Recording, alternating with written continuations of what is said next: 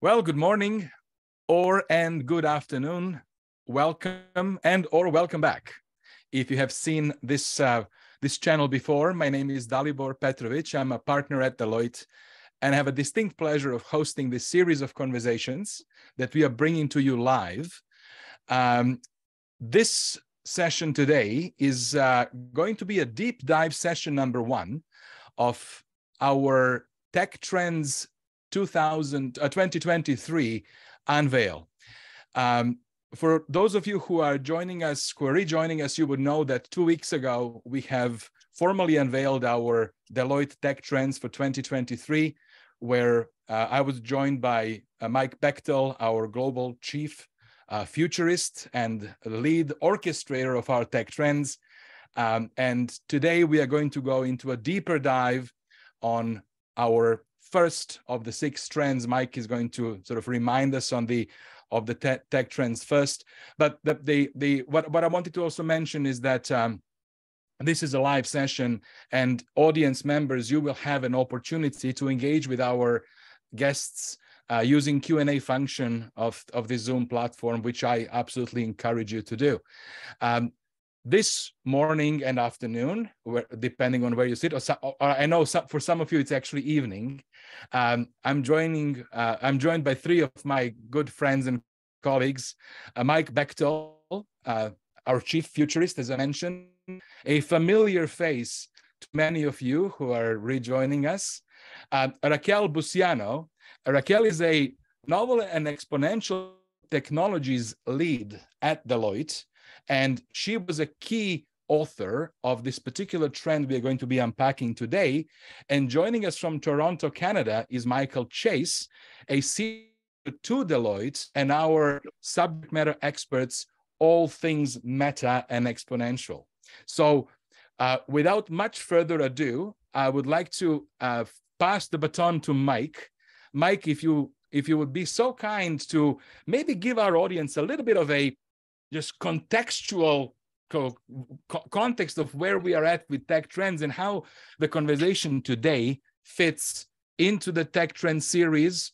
Uh, and of course the fact that going forward every two weeks after today we are going to be doing a deeper dive into each one of those remaining uh, five trends. So mike thank you for your time. Welcome back. Over to you. Oh goodness. Dalibor it's um at the risk of sounding saccharine, it's never not awesome to be with you. like, like no, really, like I, I never feel like I have to like remember to smile. You're on the internet. It's like, no, I'm with Dalibor. Of course I'm smiling. You're and um, and then it's thrice as nice because I get to jam with um, my dear friend and teammate Raquel and my new friend and teammate Michael. And so um, everybody here's here's the tale of the tape, um, as it were.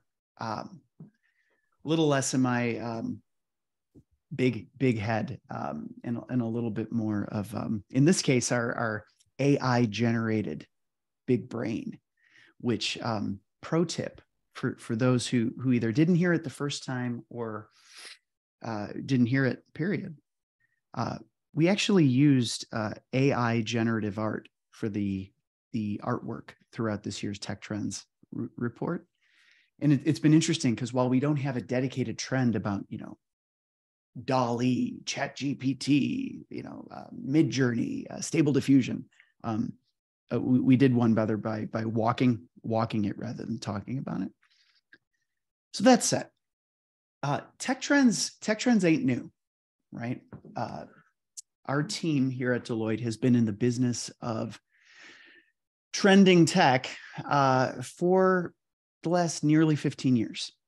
Uh, and I share that because uh, it, it's not a, um, this is not a trust us, we're professionals kind of an assertion. Uh, nor is it any sort of a proof of work, you know, pat ourselves on the shoulder assertion.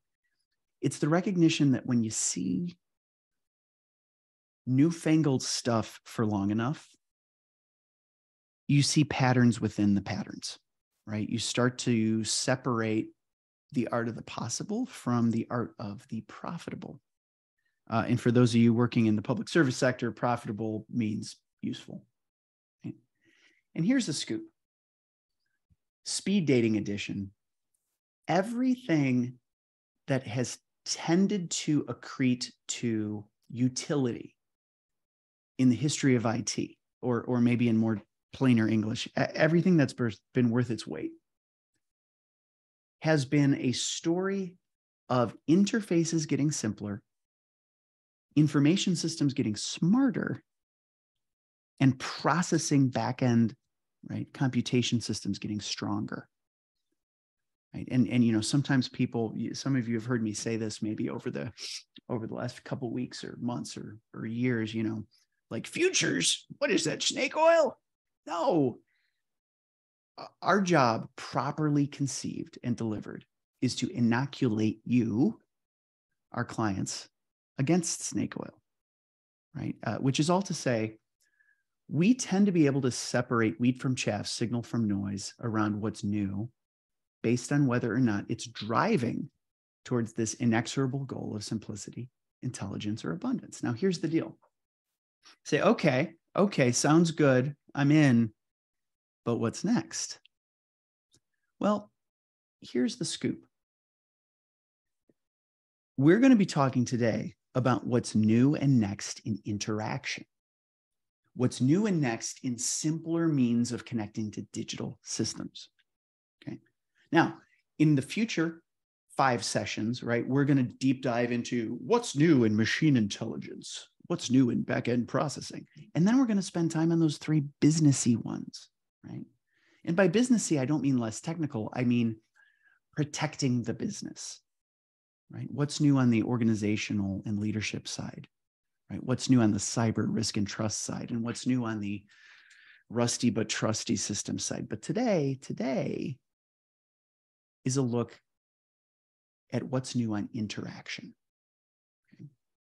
Now, if we would have gotten together last year or two years ago, we would have talked about the reimagined hybrid digital workplace, a response to the pandemic. We would have talked about digital customization. Before that, intelligent interfaces.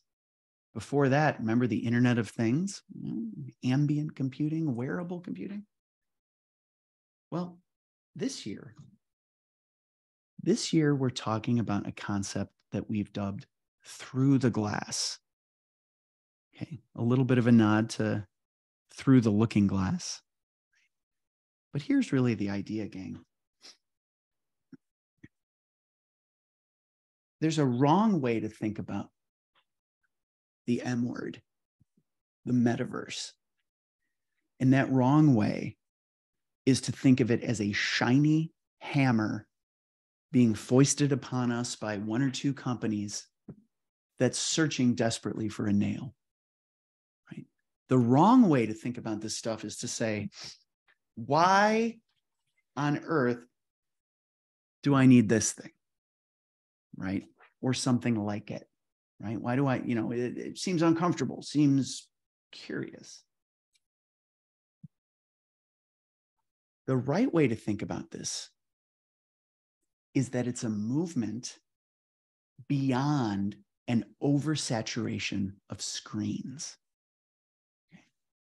the right way to think about the metaverse, or as we've been calling it, the immersive internet, or as our practice areas are calling it, unlimited reality.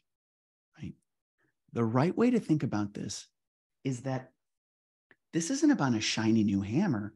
This is about the recognition that screens, right, can't keep going from something this big to something this big to something this big and then you know, the last thing we want is another glowing rectangle.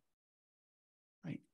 And our lived environment is overfilled with them. I mean, Dalibor, Raquel, Michael, I don't know about your desks, but let me let me do the old count, you know.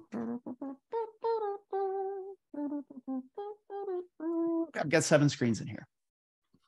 It's like fully 15% of the space in my room. It's, to say nothing of the ESG sustainability electricity issue, it's too much, right? This screen right here is blocking a perfectly beautiful view of the woods. And so, part of what our research suggests is that when we look back at 2020, 2021, 2022, we might giggle at all those screens. We might say, you know what? Just like we were at peak oil back before we figured renewables out for good, maybe we were at peak screen because we hadn't yet found the better way, which was to have not something like this in all of our heads, but props, right? In the next 6, 12, 18 months, decent looking glasses, you know, I happen to have sunglasses here, I don't have to be sunglasses, but decent looking smart glasses that will allow us to bring our own pixels and superimpose digital information in a discerning and rights managed way into our lived environment. In short, this stuff is going to win not because it's fancy, but because it's simpler. Mm-hmm. And so we're going to talk for the next, you know, for the next 48 minutes with Raquel, with Michael, with Dalibor about how this is manifesting in real businesses today, right? About where this is heading for your businesses tomorrow, mm-hmm. and add some crunch to, to this high level story. I'm going to take a breath. Dalibor, any questions, curiosities, comments, or concerns before maybe I hit a couple of these quick case studies and then turn it over to my colleague, Raquel? I think that this this fundamental concept that we are moving beyond glass is extremely important to understand. That this is not about a toy that presents itself, but about useful tool that actually helps our organizations and our clients and their clients' clients simplify the interaction. And I think if if our collective mindset moves from novelty to that simplification of interaction, that's a major leap forward that will be helpful to everybody here, right? I mean, that simplicity point can't be overstated, man. Yeah.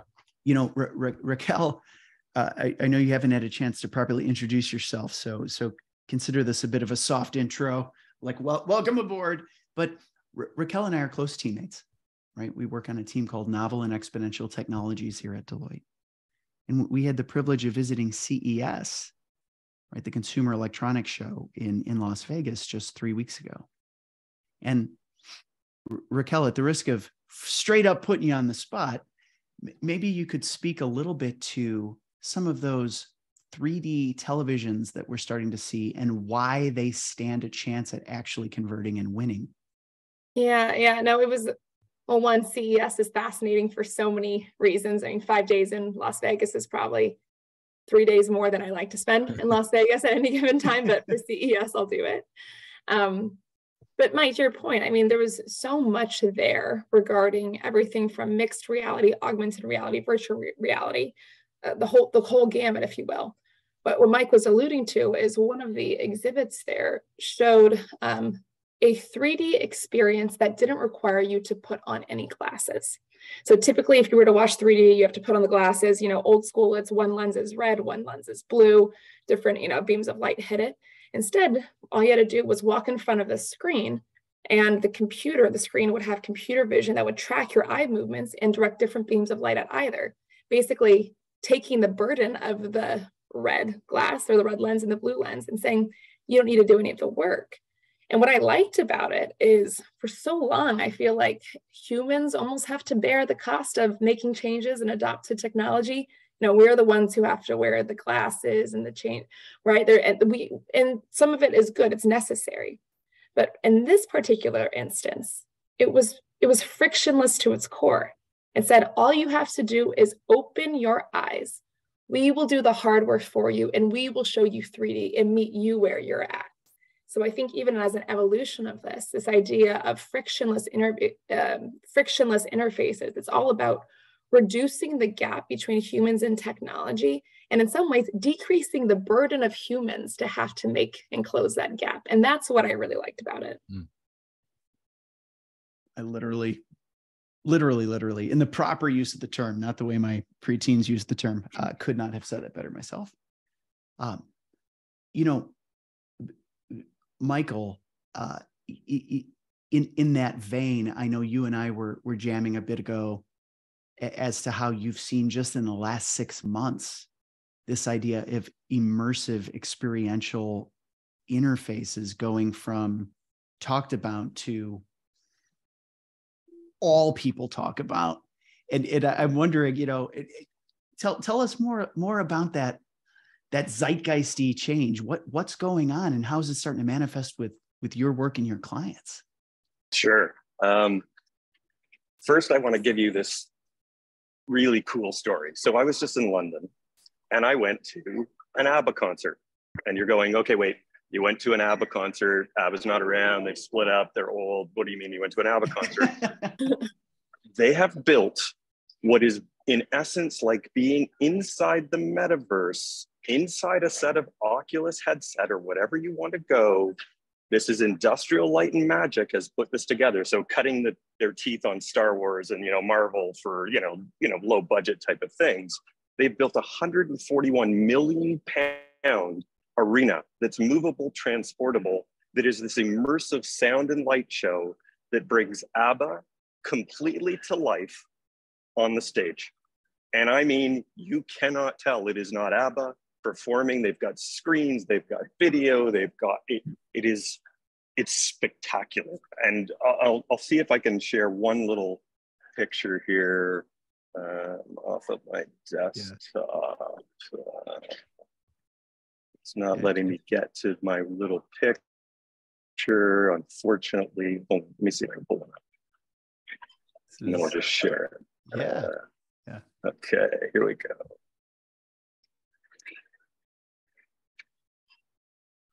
I appreciate the, the, if there was ever a topic wherein a picture was worth a thousand words, it's as it, it would experiential be, interfaces. So, folks, this is well worth. It's a hard. It's a hard. It's a hard one. It's a hard one to pull up off of this interface. Hold on. Let's see share screen. Here we go, image, share.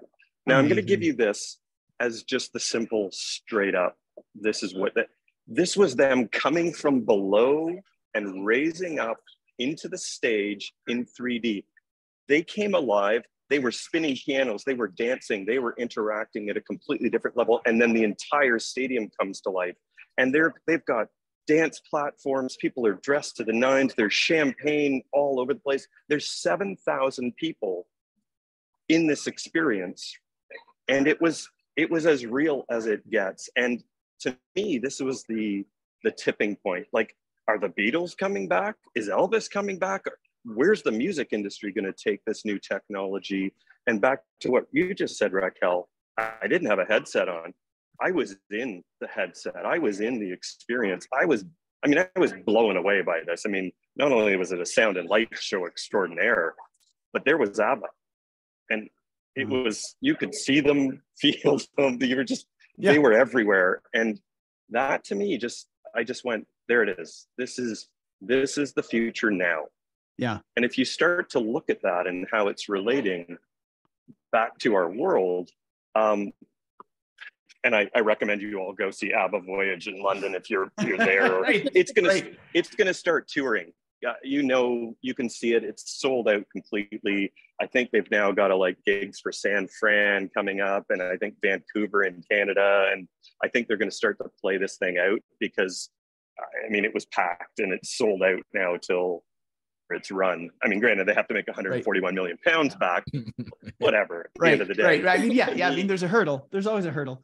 But there's always a hurdle, but this was exactly what we're talking about right yeah. now. Now, when yeah. you start to translate that out, it's got all kinds of moving parts in it, but it was group experience. It wasn't me in my Oculus headset having that next thing. It was it was playing to what we're talking about. Yeah. Yeah. It, and and so many of the objections, Michael, I think to your point, the since since you've used a literal pop music example, I, you know, I, I, I often use a figurative one, namely, you know, it's our it's our birthright to dislike our kids' music, right? Like my parents thought grunge was noise. I think my son's beats are noise, and and so goes the circle of life. Um, but I think so too with tech, right? I, I think there was a generation of, of of technology purists who might have thought that icons and windows were uh, gimmickry whereas uh, my generation saw it as why not? why not yeah. simpler, right?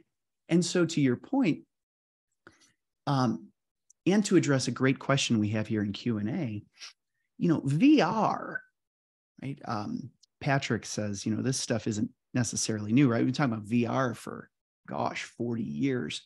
Well, well, here's the scoop, and and here's here, here's something I think worth worth recognizing. This stuff, as with most emerging tech, turns this corner from tech to toy to tool. And you're right, 40 years ago, you know, I've been up to all things newfangled for 25 and I too remember like like VR demos where you had something three times this size wired up to a server in the basement, right? Like a Xeon. And um, if everything worked just right and only you demoed it, it would kind of sort of be immersive and interesting, right? And then a few things happened for the, for the, for the the geeks among us, and I and I wear that word proudly. Like that's a compliment to to you. For the geeks among us, what we've seen is a couple things. Virtualization, thanks to cloud compute, yep. okay, has made it such that when something is popular, we can scale elastically to support it. For those of you who remember Second Life 15 years ago, right? The problem with Second Life was you went to, if you went to that ABBA concert in Second Life, it would have crashed immediately. Totally. Because because pre-elastic computing, it was just like, hey, check this out. It's awesome. Everybody comes on it. If, if you've ever heard of the Reddit effect, right? Like, ooh, we love it. Ooh, we killed it. It's like of mice and men. Lenny didn't mean to kill the mice. um, cloud computing and elasticity has allowed for scale. One, two, 5G or advanced connectivity writ large is allowing for the bandwidth and critically the prioritization of the packets for this stuff to show up in multiple places, right? And then three, GPU compute, right? GPU powered compute on this thing or eventually this thing, right? Or more realistically, this thing connected to this thing over over Bluetooth. Okay, Mike, have you seen the Mojo contact lenses? Okay. Yes, but tell tell our tell our guests. So more. so yes. that is that is AR to the next level. Now, if you think about this, now it, it runs into all kinds of levels of complications once we start talking about contact lenses. But they just two weeks ago demoed their next edition of this. We're talking contacts that are. Have you ever seen the movie Free Guy?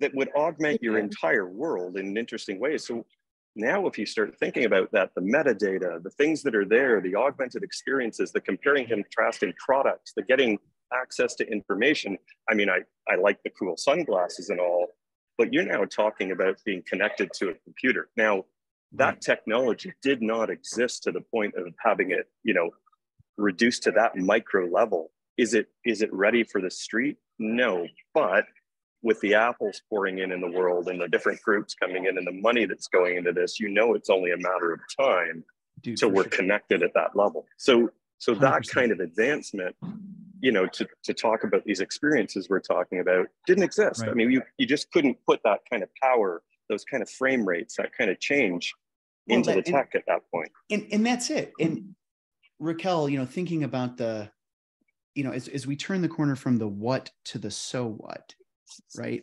And and Michael, you're a great example, right? Like like this tech 40 years ago, it was imaginable. And 20 years ago, it was demoable. And I think five years ago, it was pilotable. Yeah.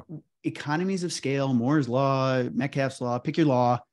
Um, this stuff is turning that corner from tech to well, toy. It's Dick, it's Dick Tracy, right? I mean, well, right, we right, were imagining Dick Tracy, and now we're wearing yes. Dick Tracy's yeah. watch and talking. I mean, it, it, yeah, it. You look at those things; it's it's crazy. And right? and and and and yeah, and and and for those executives among our group here, right, leaders, business professionals, and practitioners, you're thinking, yeah, yeah, yeah, but this is all for fun and for horsing around and for entertainment, and and that's hmm. usually the second stop on the train you go from tech demo to fun and you know immersive video games have a bigger uh, total market value right now than hollywood.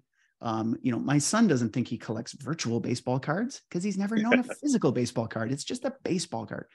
And so Ra- raquel i guess i'd ask you how are business folks starting to turn the corner from toy to to tool?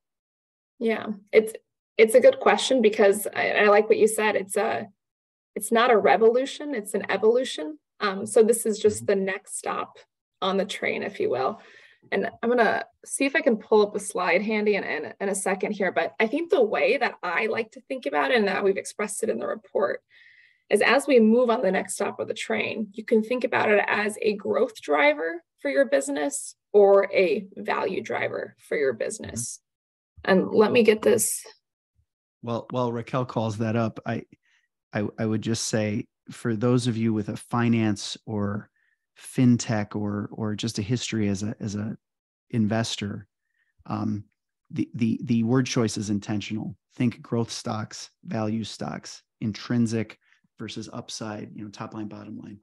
Raquel, I have offic- officially bought you seven seconds to call it up. Go, go for thank, it. thank you. Usually it takes more than seven to call it yeah, up. Yeah, so, yeah. so I appreciate that. Um, but, but you'll see, and I'll go through the growth ones first and the value. But the way that I typically think about the growth ones is similar to how you might have thought about your Web two strategy or in you know a Web two um, allegory. I might also draw the same comparison here for the growth stocks or the growth stocks, the growth um, the growth bubbles dimensions.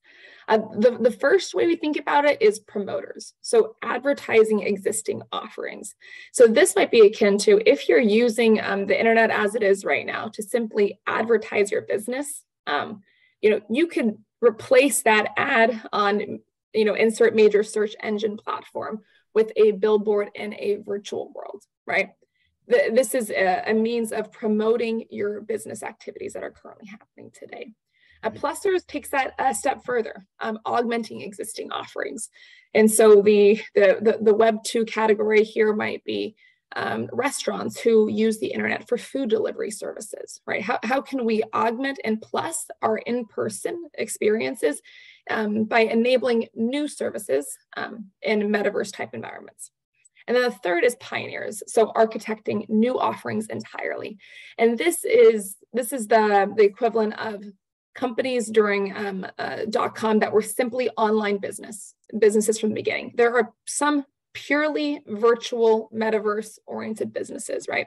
And so on the growth lens, this is all about how do we how do we increase um, engagement, activity, um, create new offerings. On the value side, on the other hand, this is where we're seeing, I'll be honest, a lot of enterprise activity today, um, tr- truly more than anything. And uh, the two, there's two use cases that stand out that encompass quite a bit. So they're pretty meaty, but the first is augmented workforce experience, so personalized collaborating learning experiences. This to me is one of the biggest use cases that I think enterprises can explore today, right now. And what it what it can do is if you're using AR and VR to virtually train, we're seeing huge returns on this. Learners are 275% more confident applying skills.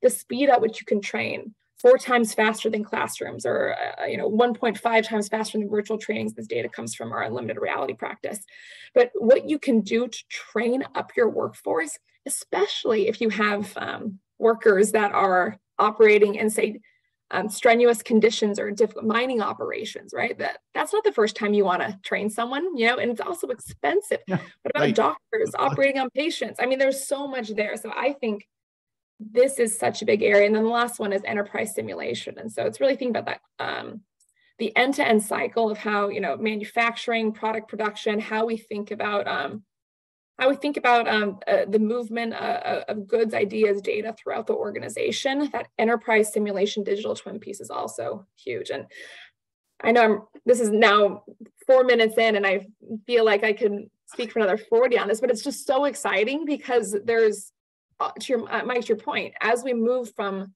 toy to tech, um, as we hit peak screen, how different companies deal with peak screen and adjust will depend on so many different factors and there's so many different flavors to go off from here.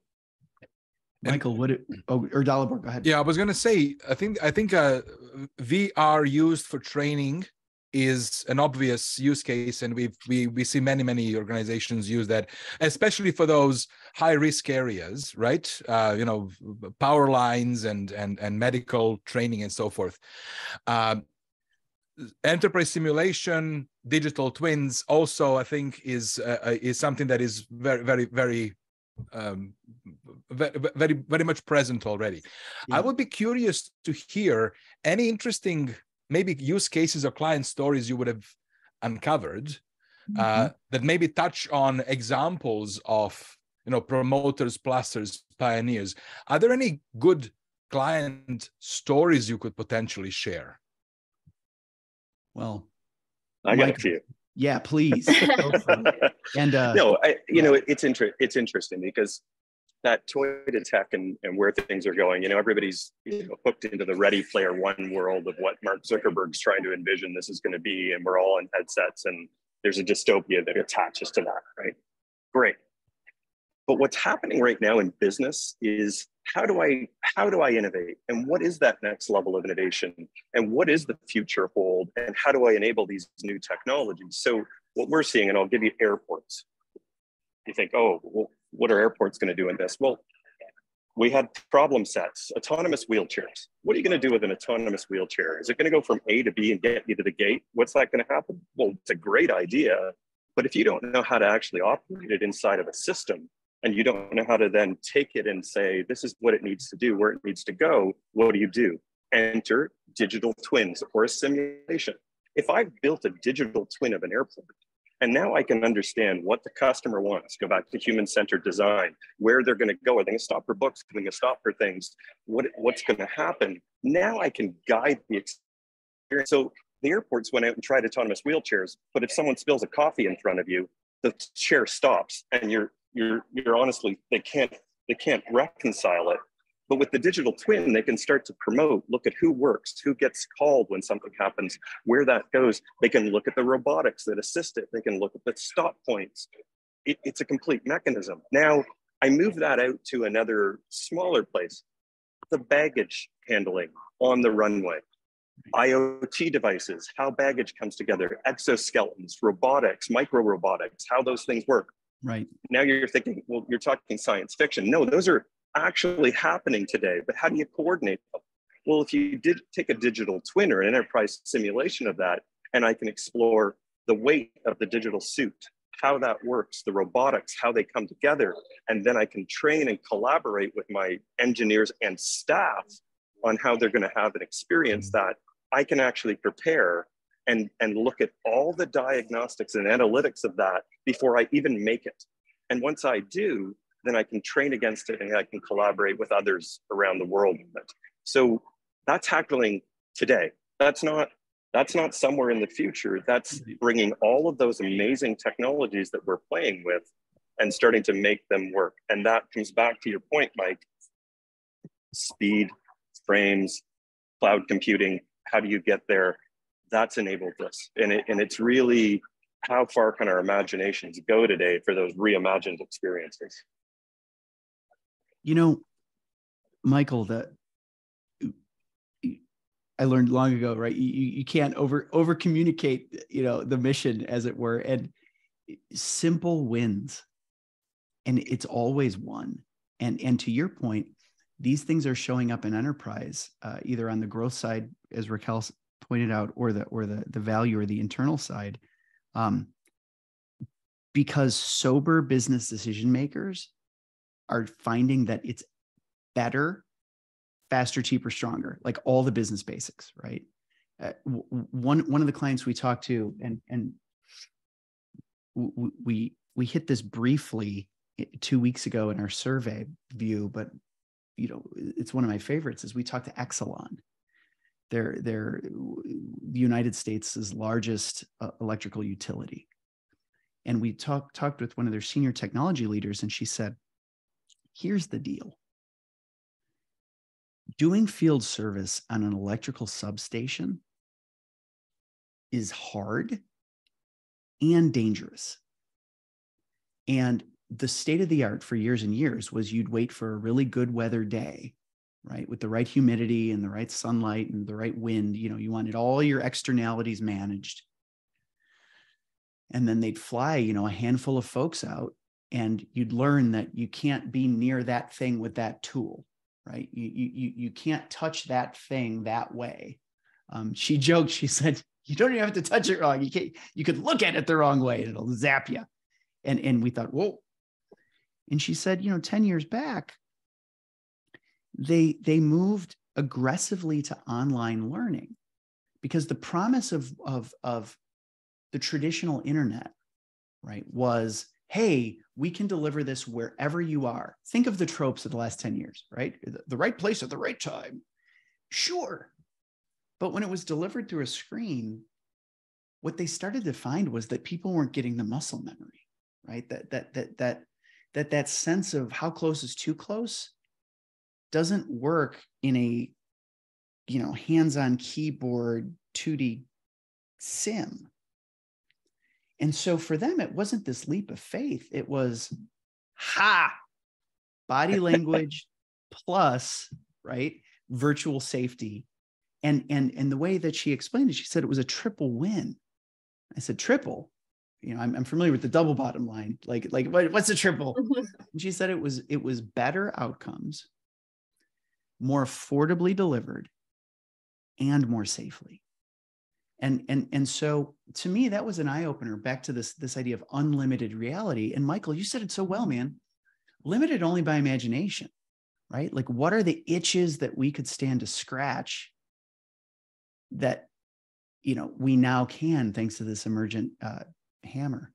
Yeah and raquel put it really well when when you laid out the growth pattern. If i take a exactly what you just said mike and we're dealing with like a large let's call it global winery. Um, they've got they've built machinery that's built by italian designers. Okay so something goes wrong with the elaborate machinery and they're flying the italian designers in to fix it.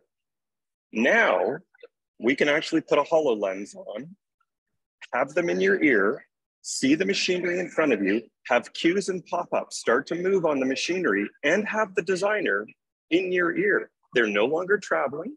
They're no, the efficiency has gone to a ridiculous degree. And at the same time, you've solved your problem like that. The back to the sustainability of these things to them, that was like, oh my God, like this is this is nirvana so so those use cases back to you know dangerous equipment as dalibor put it or mining or where these things are starting to show up and not just chemicals is one side but the other side is i can now i can now fix it with someone in my ears and in my eyes that's very different oh man that guide on the side right i, I mean yeah. in, in working with some some of our U.S. firm colleagues and, and leaders, Francis Yu, um, Aaron Aksu, and company, that they often hit that note that do you ever you ever hear that term team of uh, me- measure twice, cut once, right? Part of the value prop with this whole immersive internet, this unlimited reality, is it's cheaper to do stuff in silico than in in the real world right? You can measure 66 times. Heck, you can throw an AI at it and measure it 60 million times. Um, yeah. But when it's time to pour concrete, you know, that's a one-way door. And, and so it's about getting getting stuff banged out right first in silico and then moving to physical. Raquel, you were gonna say something. Sorry. No, no, I I love that. And I mean it's a little different than the um, measure twice, cut once. But I thought you brought up an interesting point where when we think about training, there's the training that happens before and there's the training that happens after or do, during, right? And so the training before that's, you know, VR simulation, right? That's everything going through that. And what I like different than online platforms is online platforms will say, here's the scenario. How do you react? And I'll sit there thoughtfully and I'll take my time and I'll say A, B, C, or D but that's not really how I might react, right? That's not, I'm not put against the time pressures or there's not rain in my face. Like this is. I'm sitting in my nice comfy office selecting A, B, C, or D. Whereas in sim, you know, simulations, it actually says, not just Raquel, how would you react, but I'm reacting and it'll tell me. And if you mm-hmm. complement that with AI, now you can start to get to more um, more richer understandings for how we can train that up. That's before, but Mike, to your point, what about when I'm in the field now? how can we augment that worker experience? That way, if I need to recall information or have the training manual on the side or anything of that sort, I have that rich source of information just in time. And I think that we're going to see a transformation both before and after that really says, listen, we, you know, there's a lots of issues happening with you know labor shortages, um, retention policy. I mean, there's so much happening when it comes to the future of our workforce. You saw figuring out both of those is, is Raquel, going to Raquel, that you you nailed it there. And and think about Chat GPT right now. There are those with Chat GPT, and there's those without. And it's going to be this new difference in the augmented workforce. Like you're you're bang on. Like are you going to leverage the AI and the the VR and the AR? Are you going to bring those into your world and you're going to be that group, or are you going to be the without group? Because it's going to there's going to be a big disparity in that, and and it's going yeah. I, you know you're bang on. You're, it's going to be very relevant to business. Yeah, we we saw Michael. Uh, we so remember earlier I, I mentioned you know uh, this year's Deloitte Tech Trends artwork brought to you by Mechanical Painters. The pun- the punchline there is less about, whoa, check out, you know, robot painting. For us, it was more about, holy moly, our creative, talented humans who make amazing images for a living. They went through this like, uh, uh you know, whether you call it the, uh, you know, uh, Kubler-Ross stages of grief. You call it the the you know the the Maslow's uh, hierarchy. They went through all the things. To your point, Michael, around we don't want robots doing our work. We don't trust robots doing our work. These robots do compelling work. How can we work with the robots to do compelling work? Yeah. Hey, we've learned best practices for engaging the new must-have tool in our creative work. And so we're already seeing this where um, our colleague Nitin Mittal and Tom Davenport just dropped a book yesterday called All In on AI. And we'll have another session in a couple weeks about AI.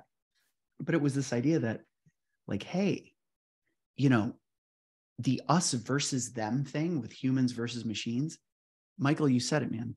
It, it, it's a limiting and scarcity based worldview.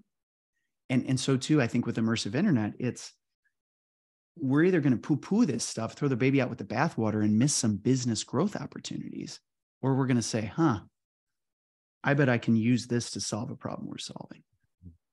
It's neat yeah. stuff.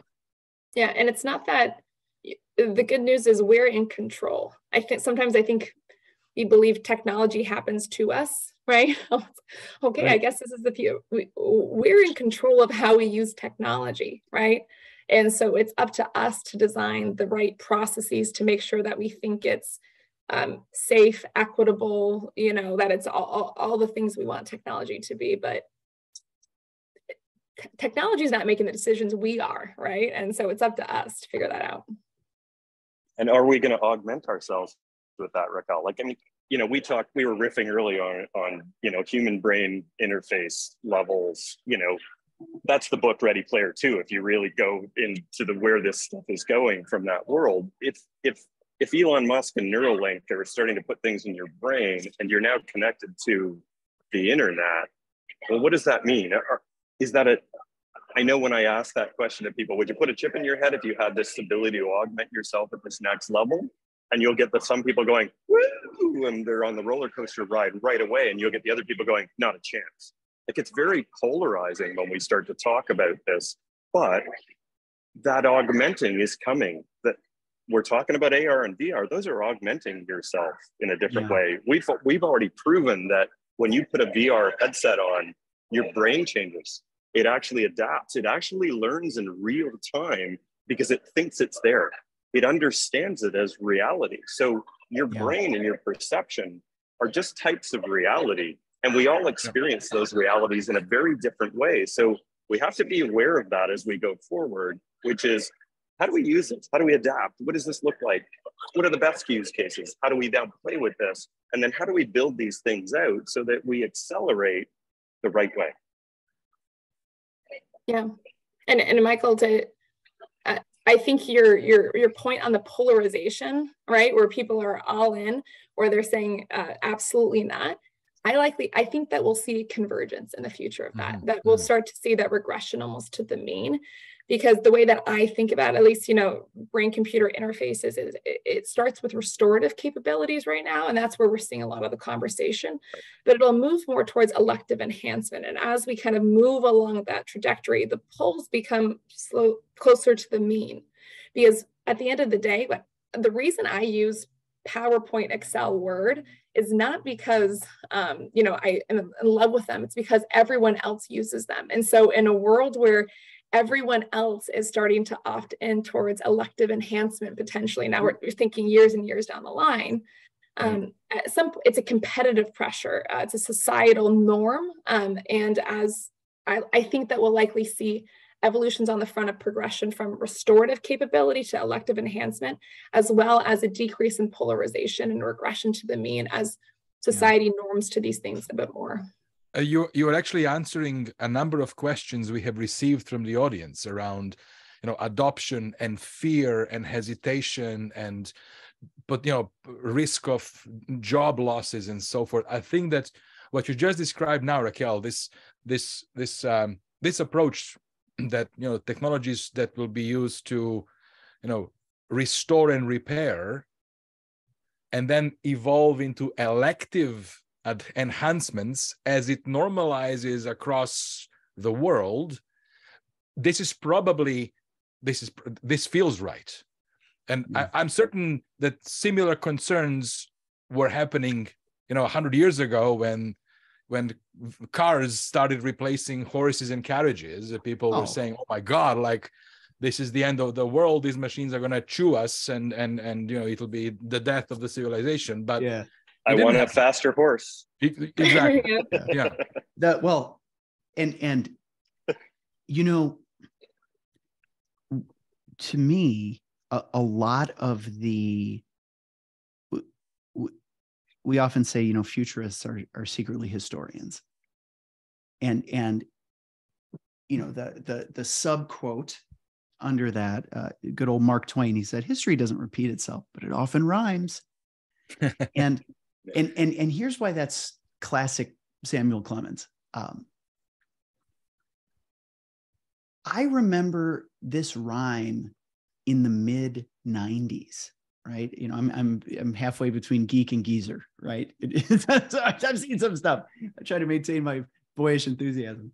But the big debate at that time was calculators in the classroom Mhm. right and and it, it- the, the cheesy right usually it ends with the bar joke of like my teacher said i wouldn't always had a calculator with me jokes on him right but but but but the, the better story is um we began to your point raquel we began to acknowledge that that calculators right weren't a substitute for learning arithmetic primes or not primes but like primals primitives uh, the, the basics. Rather once you had it was an amazingly useful tool to jump to higher order stuff. And i think you know people worry you know you brought up the the the, the smart contacts michael there's something interesting about the the, the skin barrier right?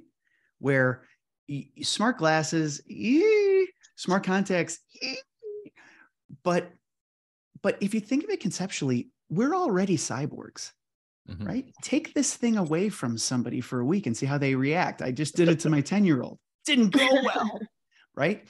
And and so i think in the workplace as we think about business outcomes it's okay for 40 years we've been talking about vr let's not think of that as a ding. Let's think of that as the recognition that for 40 years we've imagined a world where digital and physical get along more seamlessly. We're finally ready for that close up let's not squander the opportunity right? Let's do it in service of business problems worth solving. Let's lead with need. And and and i think we can all stand to if anything right? I as a parent look forward to you know my kids looking up instead of being in here all the time Yeah. But it, Yeah, but it, but you're. I'm sorry. Go ahead, Raquel. No, I, I, Mike, your point, you know, regardless of what you call it, whether it's mixed reality, augmented reality, metaverse, VR, extended, the names don't matter. No matter if it's decreasing costs, if it's increasing revenue, if it's increasing employee retention and customer engagement, those are the things that I want to bet on as a business. And to your point, I mean, I, I, I think that hits that's that's the signal to noise ratio we need to strike right now, mm-hmm. especially mm. with so much in the media, so much conversation happening around interaction. But Michael, I'm more curious to hear what you had to say. I, I, for me, as we're as we explore all these things like digital wallets, tokens, blockchain, crypto, where these things are going, the NFTs that go into it, digital IDs, a lot of the enablers in this world, these are all things that we're linking together into beautiful platforms that you can plug into. So the risk factors start to get mitigated by the fact that we're connecting dots now in a very different way even with us, with our alliance partners, like you take an NVIDIA, like an Omniverse, like there's just amazing cloud computing and things that all get attached now that mitigate, you know, let's call it being a pioneer. Um, and doing that the right way gets you to that thing with, with you know reducing the fear factor understanding the technologies more you know becoming comfortable with augmentation and what those things really mean you know it's not a it's not a this or that. It, it's this really blending and blurring new world that we're in. And that to me is the exciting part because mm. I, every day I see a new little thing that connects in a new little way that creates this beautiful synergy. That to me is is what I just love about this. It's it is really that that new compendium. I I I think that uh, the, the the framework you presented. Uh, Raquel, the, the framework that um, is actually used within this trend, the one that breaks down the case studies into value and growth, that's very powerful. And I think that organizations ought to think about their use cases from that particular lens. And as, as a reminder, like the workforce experience interaction enabled through this technology that is focused on helping the workforce have better learning training experiences is certainly something that can apply across all industries geographies and companies. Like that's that's a that's a really simple straightforward use case and that could very well be the starting point that that organizations who are interested in exploring this beyond glass interaction that's i think where a good start could be. Yeah. Then the next logical extension could be the enterprise simulations if of course that that if if if if that is uh, useful. But then on the growth front advertise uh, like promoters Plussers and ultimately pioneers is a great way to think uh, i think i think it's almost a maturity model of how to maximize involvement in and leverage off the technologies we're discussing right? 100% dalibor it, you know it, cliches are cliches for a reason but this journey of a thousand steps starts with starts with one right? And and I, I and while there's no required order of operations here um i'm with you people start any most businesses not all but most businesses start with something inside right? You, yeah. pick, pick your cliche or your frame right? You know drink your own champagne eat your own dog food whatever it is. But using this for the betterment of your employees, finding that value to convert real believers and traction, then scaling it to system wide internal use, right? Yeah. Our, our, unlimited reality practice really thinks of it as, you know, there's that, there's that augmented workforce training and simulation. There's the enterprise sim, digital twins, modeling in silico, cutting twice or measuring yeah. twice, cut once. But then, yeah, the growth side, you know, 30 years ago, there were really smart people on boards of companies you've heard of who were wondering, do we need an internet strategy? Mm-hmm. Yeah, yeah. And you know what's so interesting is to ask when you look back feels like folly.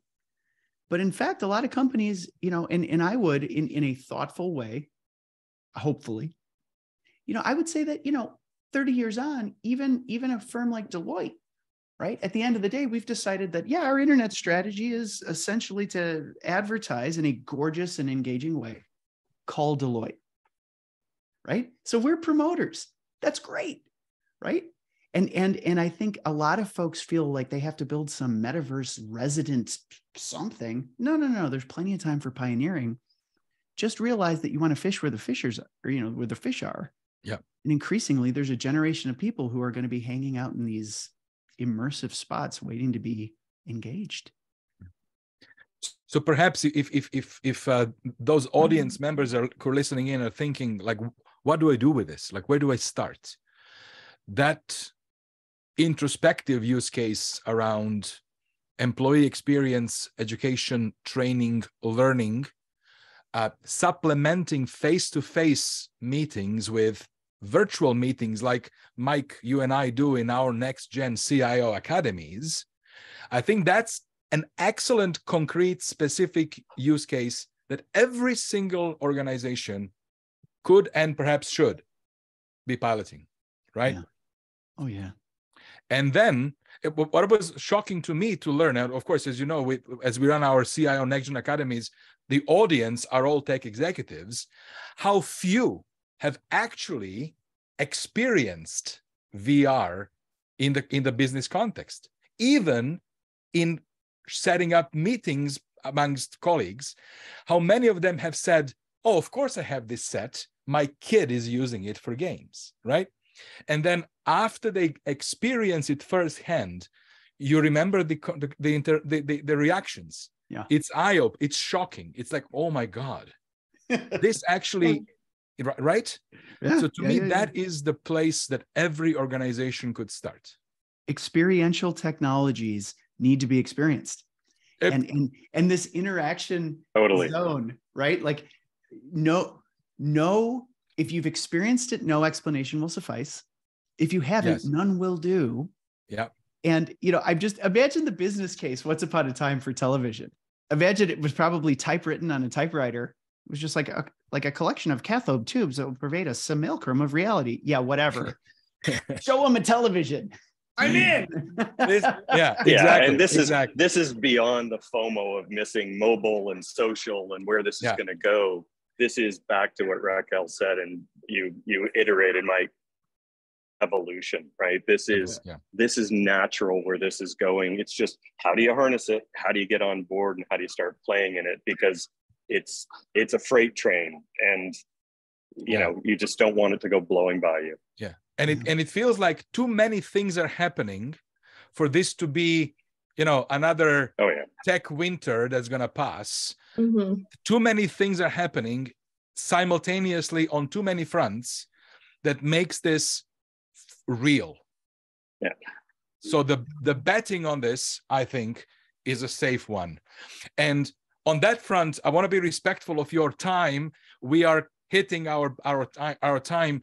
Uh, this conversation actually continues in two weeks as we unpack the ai as our trend, the trend around information, where we're going to talk about how do we learn to collaborate between our organic and inorganic colleagues. So, Mike, you will be back with um, few, a few other experts in that in, in that specific domain. I would like to thank Raquel. Thank you so very much for your time, Michael. Your, your, you as well. It was wonderful to hear your thoughts and and and get in this conversation. And for the audience uh, two weeks from now we'll be back unpacking our trend number two. This session has been recorded and we are going to send you a link to the raw recording. So thank you all very much and have yourselves a lovely wednesday afternoon. All the best. Bye bye